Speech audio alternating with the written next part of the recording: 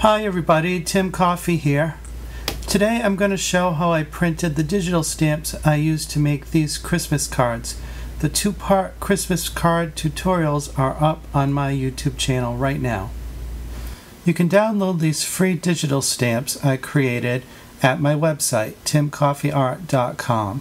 Just click on the digital stamps category in the left-hand navigation bar once you're at my website. There's also a link to them below this video. First, you need to launch Adobe Photoshop Elements. I'm using version 10 of Elements, but for this tutorial, you don't need the latest version.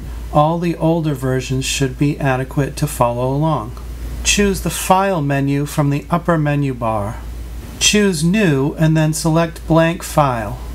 I'll be printing on a sheet of 8.5 by 11 inch watercolor paper, but I'm making the outer dimensions of the Photoshop Elements document 8 by 10 inches. I make the document smaller than the paper because inkjet printers usually can't print all the way to the edge of the paper. I'm using 300 pixels per inch for the resolution and I'm leaving the color mode set to RGB color and the background set to white. You can type in a file name for this image. I'm calling it Snowman Stamps. Now the blank document is ready to import the stamp. Go back up to the File menu and scroll down to Place. You need to navigate through your computer to the folder where you saved the digital stamp. I'm using a Mac computer, so it might be a little different on a Windows computer. Once you find your image, click the Place button on the lower right hand corner of the window. You can move the stamp around on the page now. Go up to the top menu again, click View, and scroll down to Rulers. This will place a ruler along the top and left side of your document. You can adjust the size of the stamp by clicking the corner and dragging it to make the image smaller or larger. You can draw some guides by placing your arrow on the ruler, click and hold the mouse button down and drag the guide into place.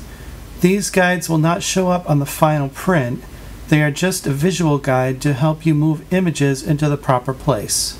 Once you have the stamp at the size you want it, you need to double click the center of the image to make the size permanent.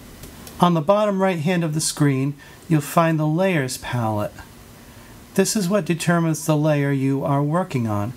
When you placed your stamp, a new layer was created for it. You just need to make sure the layer you want to work on is the layer that's highlighted in blue. Clicking once on a layer will select that layer. If you double click a layer, a box pops up that allows you to change the name of that layer. To duplicate the image, go up to the Layer menu and scroll down to Duplicate Layer. Click OK in the dialog box that appears. Now go to your Tools palette on the left hand side of your page and make sure your Move tool is selected. The Move tool is the top tool in the Tools palette. Click on the image and move it to the right until you get it in the place you want it. One little trick is to hold down the Shift key at the same time you're moving the image. Holding the Shift key will keep the duplicated image lined up with the original image. If you don't keep the Shift key pressed, you can move the image in any direction. Go back to the Layer menu and repeat the process. Duplicate the layer, make sure the Move tool is selected, hold the Shift key and slide the image into place. Now just keep repeating that process until you have all the images in place. Each time you duplicate a layer, it makes a copy in a new layer.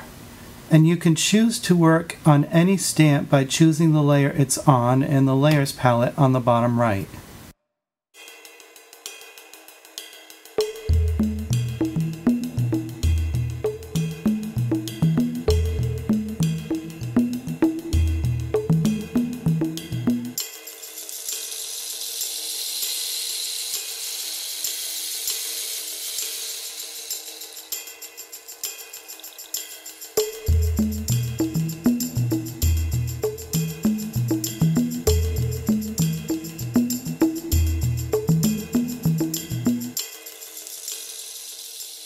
Now the image is ready to print, so I need to load my printer with a piece of watercolor paper trimmed to 8.5 by 11 inches.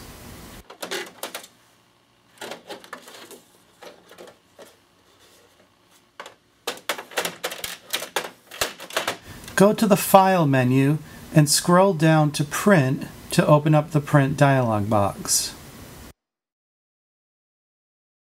Choose US letter as the paper size. Set it to print at actual size. You can enter the number of copies you want to print. It's already set at 1, so I don't need to do that.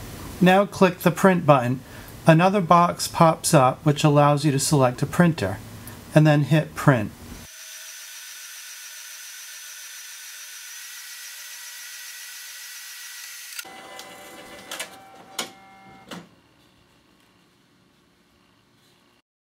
Now you can save this document so it will be there for future use.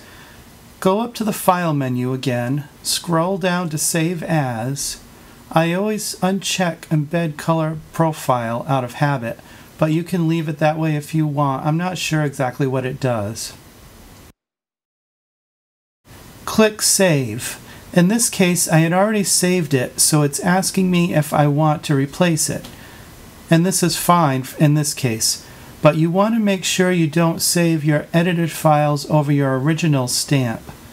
You always want to keep your original stamps unaltered in their original form, so always name the new file something else to avoid replacing the original.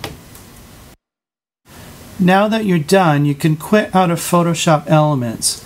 Just go up to the Adobe Photoshop Elements editor, scroll down and select Quit.